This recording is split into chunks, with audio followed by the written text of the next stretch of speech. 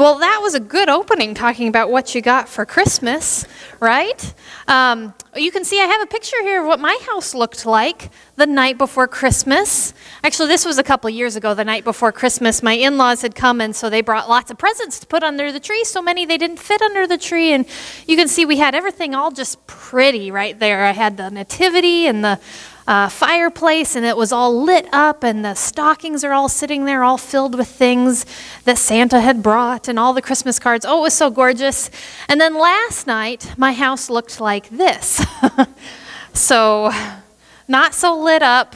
The Christmas cards have all fallen down. The stockings are all over the place. There's wrapping paper pieces, broken toys already. There were little tiny goldfish crackers that are yet on my living room floor. This is last night yet. So, but I'd say this is still joyful in my life. And isn't that the truth? There's so many places in our lives where there's a little bit of mess, but boy, the joy, you just can't. Uh, you can't stand it how happy you are even in the mess um, i haven't had the experience myself of, of uh, having a baby but i've been to the women's hospital that fancy new one it must be all pretty every time, right? When people go and have babies? Because when I walk in, it just looks beautiful every time. And there's talk of the steak dinners, and there's so much joy. And when I see a, a new mom there, yeah, she looks a little tired, but boy, is she happy. And there's just a, a pretty little a pretty little baby that's all nice and cleaned up. So that's what I think childbirth must be like, just beautiful. well, but I did bring a baby home from the hospital, my son, and uh, oh, after a couple weeks, you know, there was still that joy, but our house, when we had a little bitty baby, wasn't always smelling so good all the time with the diapers and the dishes that didn't get done and the extra food sitting out. And, and if I don't do something about this house, uh, next week, all those little crumbs that are on the floor, the little Christmas mice will come and start nibbling.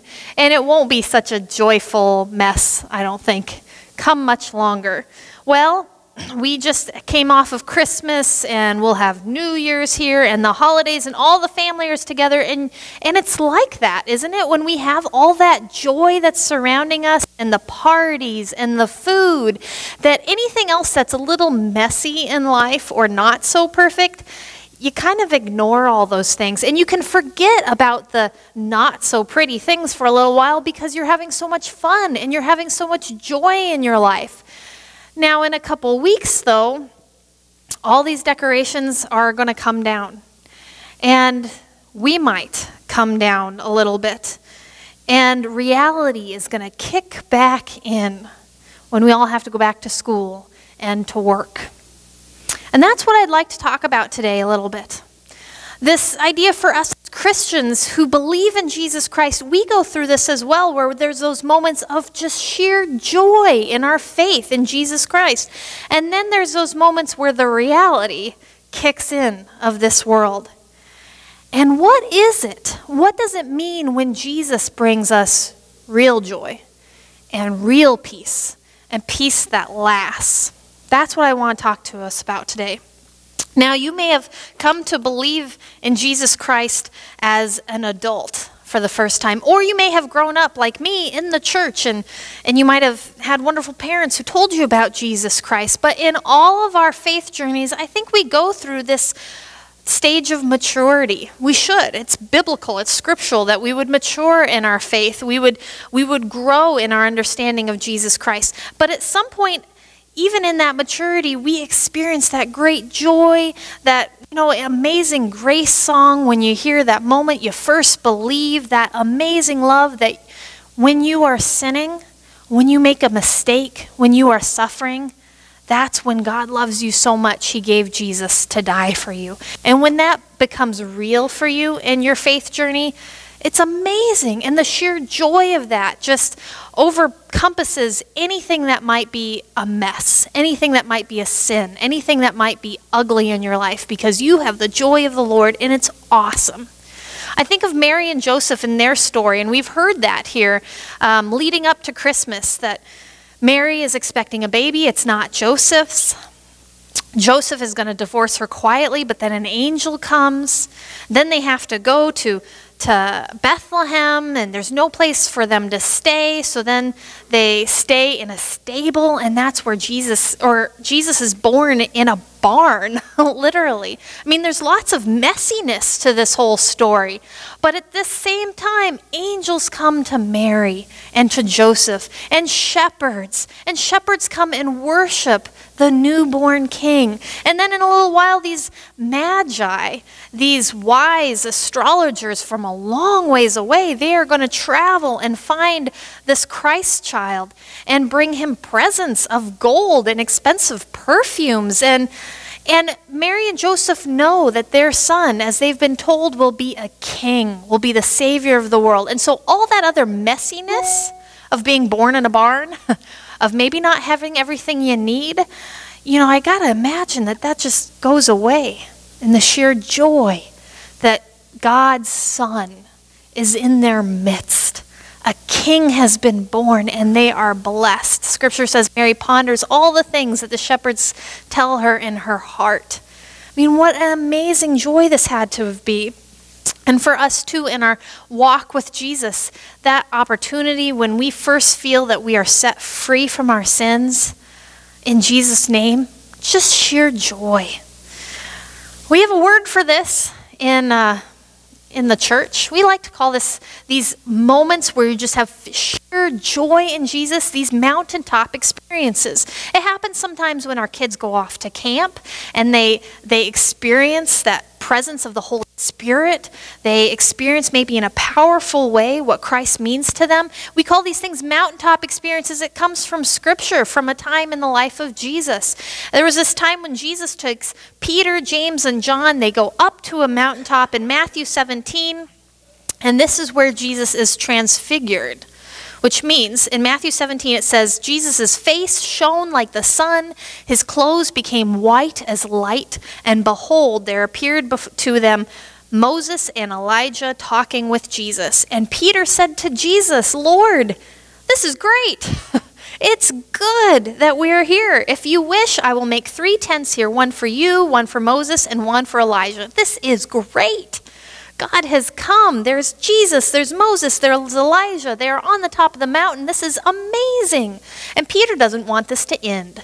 He wants to set up some tents, some little shrines, some way that he can remember. He can come back and experience this moment many, many times over. This joy is something he wants to hold on to, he doesn't want to forget about. This is a mountaintop experience. What joy! And Peter didn't want to lose it. Maybe was not so much about Jesus as it was about Peter, and more about the feeling that he had right then and there. Matthew goes on um, very quickly. Matthew says that while Peter was still speaking all of his plans for building these tents and these shrines, uh, right away it says, Behold, a bright cloud overshadowed them, and a voice from the cloud said, This is my beloved Son, with whom I am well pleased. Listen to him.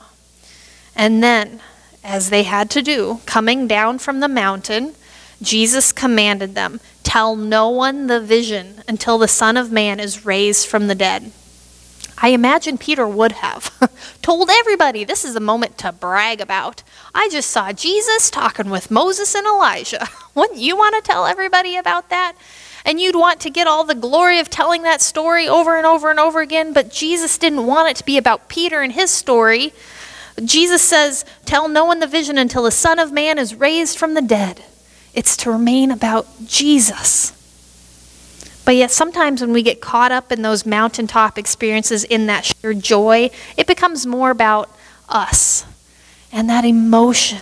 Jesus didn't want that to happen. He wanted it to be about Christ and what he would do for them. Sometimes when we start focusing so much on that joy, that Christmas joy, we share more about the joy, we share more about the prettiness and all the decorations and all the parties and the food than we do about the one who brings joy. And we forget to share about why we are all gathering together, why we have such a peace at this time of year. And we start to turn it more about ourselves. We can see that. I mean, we just shared all the different things that we got for Christmas, right? It's so easy for us to share about ourselves and our blessings and all the good things that we have that it turns more inward and we forget about where our blessings come from. Now, this might seem like a little silly little story, but bear with me a second. Um, my son plays this goofy little game where um, he'll be playing with a puzzle or reading a book, or he'll be doing something with his trains, and all of a sudden he stops, whatever he's doing, and he says, oh, Tiger coming. And then we have to play this tiger coming game. And we have to save him from the tigers. And whatever he was doing was totally forgotten because there's a tiger coming in West Omaha, obviously, into our house. There's a tiger coming. Well, I have a solution for this tiger coming, and it is this rock. I have it right here. See? This rock keeps away tigers, I tell you. you don't see any tigers here, right? This rock does it. Yeah. When things are great, when there are no tigers coming, I can tell you anything. this rock keeps away tigers. When we have so much joy in our lives, when we have so many blessings, and we stop remembering where those that joy and where those blessings come from, we can start blaming it on all sorts of things. Then many religions can say, "Oh, I can solve your problems. I can give you happiness. You can have lots of different gods, lots of different beliefs, self help books, Oprah, Dr. Oz. There's all sorts of ways out there that when life is going great, they say it's all because of me. I am the one that has brought to you these blessings. When we start focusing more on the joy and more on us receiving the joy and those presents and that feeling, then there's lots of places that those feelings can come from. Any tiger keeping away rock works when there's no tigers present, when there isn't any pain, when there isn't any problems, when you're all up on that mountaintop, you can explain that joy in lots of different ways.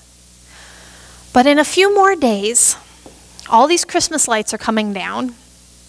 A few more days, more of our family members will be returning to their homes in Texas and Florida and the Southwest, all these different places. In a few more days, we're all going back to work and to school.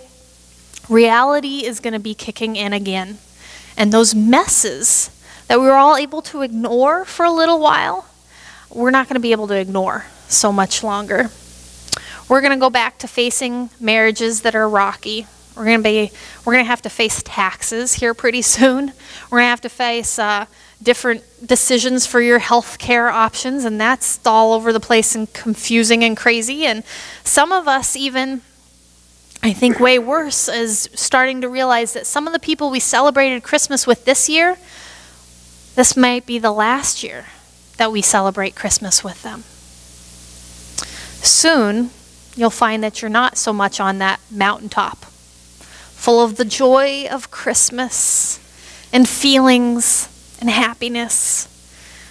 But in a little bit, when February rolls around and it's still cold, and you're still facing sin and temptations, you might be in the valley. You might be in the mess, in the muck, in the sin. Mary and Joseph, after they were visited by the Magi, then it says that an angel of the Lord came to Joseph again and told them to flee for their lives. that joy didn't last very long. They'd just been given all these presents of gold and frankincense and more, and now they need to leave. Because Herod the king is looking for this baby. And King Herod is going to kill every baby born in and around Bethlehem just to make sure he can get this king that might possibly be a threat to King Herod's power on earth. So Mary and Joseph take Jesus, and where do they flee? They go to Egypt. Egypt. Egypt is where the Hebrews, the Jews, had been before in slavery. There is not a good history here for the Jews in Egypt. And this is where Mary and Joseph and Jesus go and hide for their lives to save Jesus. Talk about coming down from that mountaintop of experience of joy because here their son Jesus is supposed to be the Son of God who will save the people. And they're hiding in Egypt, of all places. A little while later, Jesus in John 16 tells us, I've told you all these things so that in me, in me, Jesus says, you may have peace. In this world, you will have trouble. Now, there's more to that. You might know how the rest of that goes, but just think of this. Jesus says, I've told you these things so that in me you may have peace. In this world you will have trouble. Peace of Jesus and trouble of this world, and it's going to happen at the same time. Let's not forget that Jesus came not just to celebrate the joy of the season and, and peace, but Jesus came in the midst of our trouble. Jesus came for our valleys. Jesus came for our pain. It's not about the joy, it's about the one who brings us the joy. It's not about the peace of the holidays, it's about the one who brings us the peace. We cannot forget this because pretty soon it's going to be back to reality for us in our faith. And in our faith, when we are faced with these valleys, it's not always joyful or peaceful. But that's when Jesus comes. In a few more days, when you experience this letdown of the holiday season of Christmas, remember that it's not about all of these presents we receive today, but it's about a gift we have yet to come. It's about that heavenly glory through Jesus Christ. That's the gift that we are celebrating. And if uh, you don't know what gift I'm talking about yet, I have one more story to share with you about what I mean by the trouble in this world and the gift of God yet to come. When my husband and I lived in Minnesota, we lived there for about five years. We're both from Nebraska, but um, I went to the land of the Lutherans up there, and that's where I went to seminary and and uh, we lived there for five years. It's cold in Minnesota. And this is a family that in 2004 was in the news all over. They had five boys and um, and they went to church. They they were very involved. They one morning in 2004 they all went to Sunday school. The one boy played in the worship band in the afternoon. Uh, three of the the three oldest boys they went to the store together, and later that night the family had to say goodbye to those three older boys because while they were driving to the store and back they were hit and killed by a drunk driver. And they weren't doing anything wrong. They had all their seatbelts on, they were obeying all the laws, um, everything was fine. Church going kids. And yet, sin and suffering and death came to their family. And just because they, they came to church, that didn't save them from the realities of this world that broke into their lives. This was all over the news. And, and it just kept going on TV and on the radio and in the media over and over again. And what you expect is the anger and you expect the litigation that would come afterwards. You expect all these negative feelings that came out of this senseless loss of life. There could be no joy in this. But all those feelings of negativity, that's not actually what kept coming out of the mom and the dad. Every time they would speak, and the media and even me, we kept looking for that, that anger, and, and we never quite saw it in the mom and the dad. And even today now, if you Google this story, and the mom and dad have a whole web page dedicated to the story and, and telling the, of what happened to their three boys. And, and still, here are some of their quotes. Their dad says, Would we lash out in anger and seek revenge, or would we humbly accept the new life that God has given us? My God has forgiven me. Can I do no less? That came from the dad. And another quote that the dad said Justin, Jacob, and Matthew each had a personal relationship with Jesus Christ, and they are now in the presence of their Lord and Savior. The dad says, Our prayer is because of this, lives will be changed and our God will be glorified. I don't think that these quotes were full of joy but they were full of the one who brings joy.